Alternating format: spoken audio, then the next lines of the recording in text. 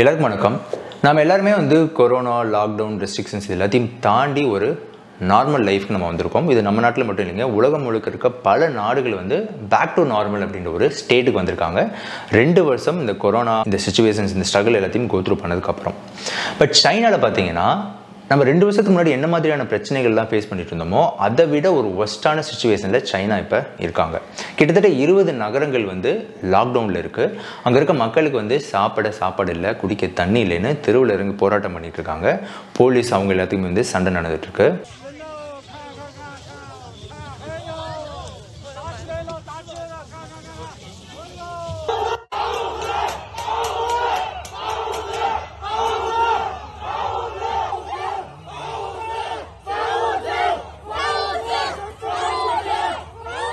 ஹாஸ்பிட்டல்ஸில் வந்து இந்த கொரோனாவில் அஃபெக்ட் பண்ண பேஷண்ட்ஸ்க்கு வந்து பெட் ஃபெசிலிட்டிஸ் இல்லை. ப்ரொடக்ஷன் இண்டஸ்ட்ரீஸ் சின்ன சின்ன ஸ்மால் ஸ்கேல் இண்டஸ்ட்ரீஸ் எல்லாமே வந்து கம்ப்ளீட் ஷட் டவுன் ஆயிடுச்சு. ஸோ ஒரு பெரிய பொருளாதார நெருக் நெருக்கடியில் வந்து சைனா வந்து இருக்குது அப்படின்றதும் சொல்கிறாங்க ரெண்டு வருஷத்துக்கு அப்புறம் ஏன் இந்த மாதிரியான சுச்சுவேஷன்ஸ் வந்திருக்கு? புதுசாக ஏதோ கொரோனா வைரஸ் வந்துருச்சா அப்படின்னு மாதிரி கேட்டிங்கன்னா அது இல்லை.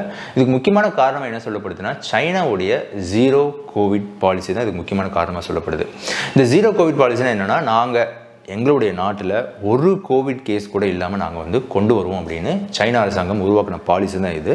இது வந்து ரொம்ப ஸ்ட்ரிக்டாக இம்ப்ளிமெண்ட் பண்ணியிருக்காங்க. இந்த பாலிசியில் என்னென்னலாம் ஃபாலோ பண்ணியிருக்காங்கன்னு பார்த்தீங்கன்னா இப்போ உங்கள் வீட்டில் ஒரு சின்ன குழந்தை இருக்குது அந்த சின்ன குழந்தைக்கு கோவிட் பாசிட்டிவ்னு டெஸ்ட் பண்ணிட்டாங்கன்னா நம்ம நாட்டில் என்ன பண்ணுவாங்க? நீங்கள் மட்டும் ஐசோலேட் ஆகிக்கோங்க நீங்கள் உங்கள் ஃபேமிலியோட வெளியே வந்துடாதீங்க. மாஸ்க் போட்டுட்டு வெளியில் போய் காய்கறி வாங்கிக்கோங்க. இல்லை நாங்களே வந்து தரோம் அப்படின்ற மாதிரி சொல்லுவாங்க கரெக்டாக ஆனால் சைனாவில் என்னென்னா உங்களுடைய வீட்டில் இருக்க அந்த சின்ன குழந்தைக்கு virus I mean corona virus வந்துருச்சு அப்படின்னா அந்த குழந்தைய அந்த பேரண்ட்ஸ்ட இருந்து பிரித்து எடுத்துகிட்டு போய் சைனீஸ் கவர்மெண்ட் ஹாஸ்பிட்டலில் அட்மிட் பண்ணிடுவாங்க அந்த குழந்தைய பேரண்ட்ஸால் பார்க்கவும் முடியாது. ஸோ இதனால் அங்கே அங்கே இருக்க மக்கள் வந்து அங்கே இருக்க முக்கியமாக பேரண்ட்ஸ் வந்து பயங்கர கடுப்பில் இருக்காங்க. ரெண்டாவது பார்த்தீங்கன்னா மாஸ் டெஸ்ட் எடுத்துக்கணும். அதாவது இப்போ நம்ம நாட்டில் என்ன சொன்னாங்க? நம்மளுக்கு வந்து சளி இருமல் இந்த மாதிரி ஏதாவது ஒரு சிம்டம்ஸ் இருந்துச்சுன்னா பக்கத்தில் இருக்க கவர்மெண்ட் ஹாஸ்பிட்டலோ இல்லை ப்ரைவேட் ஹாஸ்பிட்டலோ போயிட்டு நீங்கள் கோவிட் டெஸ்ட் எடுத்துக்கோங்க அப்படின்றத அட்வைஸ் பண்ணாங்க. அவ்வளோதான் பண்ணாங்க. இல்லைன்னா நம்ம வீட்டுக்கு வந்துட்டு ரொம்ப ஒரு கிரிட்டிக்கலான சுச்சுவேஷனில் வீட்டுக்கு வந்து டெஸ்ட் எடுத்திருக்காங்க.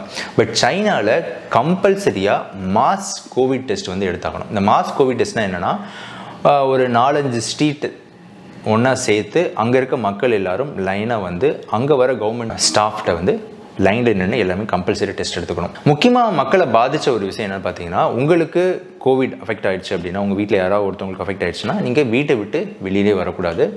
உங்களுடைய சாப்பாடு தண்ணி இது எல்லாத்தையுமே நீங்கள் வந்து அரசாங்கத்து மூலிமா ஆன்லைனில் ஆர்டர் பண்ணி அவங்ககிட்ட இருந்தால் நீங்கள் வாங்கிக்கணும். நீங்கள் வெளியில் போய் ஸ்டோர்ஸில் எங்கேயும் வாங்க முடியாது.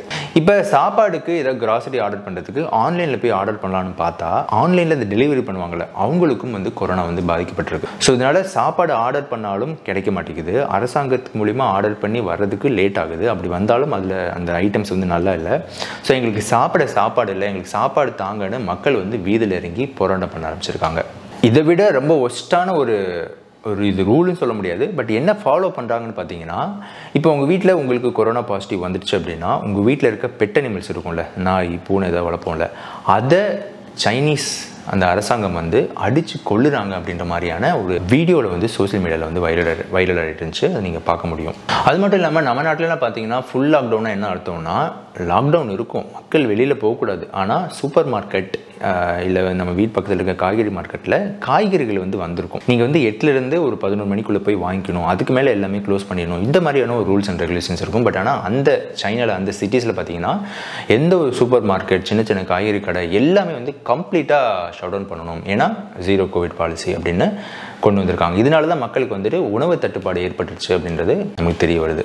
அண்டு இந்த மாதிரி நடக்குது அப்படின்றத சோசியல் மீடியாவில் நிறைய ஃபோட்டோஸ் வந்து வெளியே வந்துட்டுருக்கு இப்போ நீங்கள் பார்க்கலாம் ஒரு வயசானவர் மேலே ஒரு ஸ்டீல் பிளேட் வச்சு அதுக்கு மேலே ஒரு அந்த மிலிட்ரி கவர்மெண்ட் இருக்கவங்க ரொம்ப கேஷுவலாக அவங்க நின்றுட்டுருப்பாங்க அப்புறம் சைனாவில் ஒரு அப்பார்ட்மெண்ட்டில் இருக்கவர் வந்துட்டு கார் எடுத்துகிட்டு கிராசரிஸ் அவர் அந்த மளிகை ஜாமான்லாம் வாங்குறதுக்காக வெளியில் போவார்.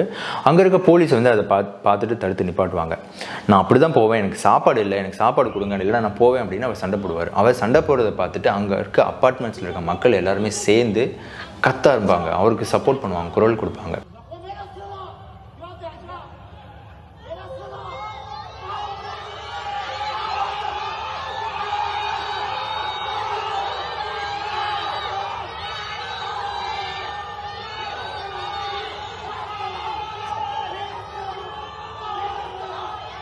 ஸோ நம்ம எல்லாத்துக்கும் தெரியும் சைனாவில் ஆல்ரெடி வந்து இந்த சோஷியல் மீடியா ஆப்ஸ் எல்லாமே வந்து பேண்ட் அப்படின்னு. வாட்ஸ்அப் ட்விட்டர் ஃபேஸ்புக் இது எல்லாமே வந்துட்டு கம்ப்ளீட் பேண்டு நீங்கள் அதை ஆக்சஸ் பண்ணணும் அப்படின்னா விபிஎன் மூலிமா தான் ஆக்சஸ் பண்ண முடியும். இந்த விபிஎன் மூலிமா யார் ஆக்சஸ் பண்ணுவாங்க?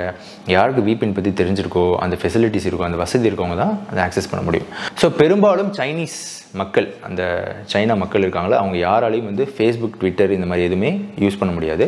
அதுக்கு பதிலாக சைனாவுடைய சோஷியல் மீடியா பிளாட்ஃபார்ம்ஸ் தான் இருக்குது லைக் இப்போ வந்து இங்கே நம்ம வாட்ஸ்அப் பதிலாக அங்கே வந்து வீசாட்னு இருக்கும். இங்கே ஃபேஸ்புக் பதிலாக அங்கே இன்னொரு ஆப் இருக்கும். ட்விட்டர் பதிலாக இன்னொரு ஆப் இருக்கும். இந்த மாதிரி சைனீஸ் அரசாங்கமே வந்து தங்களுடைய ஆப்பை மட்டும்தான் யூஸ் பண்ணணும். மற்ற எல்லாமே பேண்ட் அப்படின்னு அங்கே வச்சுருக்காங்க. ஸோ இதனாலேயே அங்கே என்ன நடக்குது அப்படின்றது வந்து உலகத்துக்கு வந்து தெரியாமலே இருக்கும். ஏன்னா எந்த ஒரு கண்டென்ட் வெளியில் வரணும்னாலும் அது சைனீஸ் அரசாங்கத்துடைய கண்காணிப்பில் தான் நடக்கும். இப்போ நீங்கள் உங்களுடைய ஃபேமிலி குரூப்பில் நீங்கள் ஏதாவது ஒரு மெசேஜ் போட்டால் கூட அது சைனீஸ் அரசாங்கம் பார்ப்பாங்க. இதுதான் வந்து அவங்களுடைய பாலிசியில் இருக்குது இது மாதிரி என்ன ஆயிடுச்சுன்னு பார்த்தீங்கன்னா ஒரு குரூப் சாட்டில் ஒருத்தர் வந்து இந்த மாதிரி அரசாங்கத்தை பற்றி ஏதோ தப்பாக போட்டிருக்காரு. சரியாக மேனேஜ் பண்ண மாட்டேங்கிறாங்க. இந்த அரசாங்கம் இப்படி பண்ணிட்டாங்கன்னு போட்டிருக்காங்க. உடனே சைனீஸ் அந்த போலீஸ் ஆஃபீஸர்ஸ்லாம் வந்துட்டு ரோட்டுக்கு வந்து இந்த மாதிரி இந்த வீட்டில் இருக்க ஒருத்தவர் இந்த மெசேஜ் அரசாங்கத்தை பற்றி தப்பாக அனுப்பியிருக்காரு அப்படின்னு ரோட்டில் வந்து அவரை கால் அவுட் பண்ணுறாங்க ஸோ இவ்வளோ ப்ரைவசி கூட இல்லை. நம்ம நாட்டில் என்ன நடந்துட்டுன்னு நமக்கு தெரியும். இங்கே ஒரு ஃபேக் நியூஸை கூட ரொம்ப தைரியமாக பேசுவாங்க. ஸோ அந்த மாதிரியான ஒரு சூழ்நிலை தான் நம்ம நாட்டில் இருக்குது பட் ஆனால் அங்கே ஒரு உண்மை தனக்கு வந்த வழியை கூட மக்களால் ஷேர் பண்ணிக்க முடியாது. ஏன்னா அரசாங்கம் அதை பார்த்துக்கிட்டே இருப்பாங்க. அது மட்டும் இல்லாமல் சைனாவில் பெரிய பெரிய ப்ரொடக்ஷன் இண்டஸ்ட்ரீஸ் லைக் டெஸ்ட்லா அந்த மாதிரி பெரிய பெரிய ப்ரொடக்ஷன் இண்டஸ்ட்ரீஸ் எல்லாமே வந்துட்டு தங்களுடைய ப்ரொடக்ஷனை ஷட் டவுன் பண்ணி வச்சுருக்காங்க. இதனால் பெரிய ஒரு எக்கனாமிக் கிரைசிஸில் சைனா வந்து போயிட்டுருக்கு அப்படின்னு சொல்கிறாங்க ஒரு இது எல்லாமே வந்துட்டு ஒரு ஒரு வருஷத்துக்கு முன்னாடியோ இல்லை ஒரு ஒன்றரை வருஷத்துக்கு முன்னாடியோ கொரோனா ஸ்டார்ட் பண்ண டைமில் நடந்துருச்சு அப்படின்னா ஓகே நம்ம யாருக்குமே அதை எப்படி ஹேண்டில் பண்ணுறதுன்னு தெரியாது.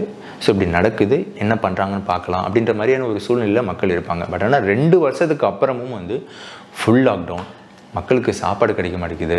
பெட் ஃபெசிலிட்டி ஹாஸ்பிட்டலில் பெட் ஃபெசிலிட்டிஸ் இல்லை. ப்ரொடக்ஷன்ஸ் எல்லாமே ஸ்டாப் பண்ணி வச்சிட்டாங்க. மக்கள் எல்லாமே கஷ்டப்படுறாங்க அப்படின்றது கேட்கும்போது வந்துட்டு சைனா அரசாங்கம் வந்து எங்கேயோ ஃபெயில் ஆகிட்டாங்கப்பா அப்படின்றது நமக்கு தெரியப்படுது. இப்போ நம்ம நாட்டில் பார்த்தீங்கன்னா கிட்டத்தட்ட நூறு கோடி நூறு கோடி தடுப்பூசி வந்து நம்ம நாட்டில் போட்டிருக்காங்க இலவசமாக ஸோ வந்து ஒரு பெரிய அச்சீவ்மெண்ட் பட் ஆனால் நம்ம நாட்டில் இருக்க எதிர்க்கட்சிகள்லாம் பார்த்தீங்கன்னா சில எதிர்க்கட்சிகள் இந்த அச்சீவ்மெண்ட்டை வந்து பாராட்டல. ஆனால் சைனாவில் போட்ட தடுப்பூசிக்கு வந்து இங்கே கைதட்டினாங்க. எதிர்க்கட்சிகளாக இருக்கலாம் அதற்காக நம்ம அரசாங்கத்தை பாராட்டாமல் இருக்கலாம் அதற்காக சைனா அரசாங்கத்தை பாராட்டுறது வந்து இப்படி ஏற்றுக்கிறது தெரியல.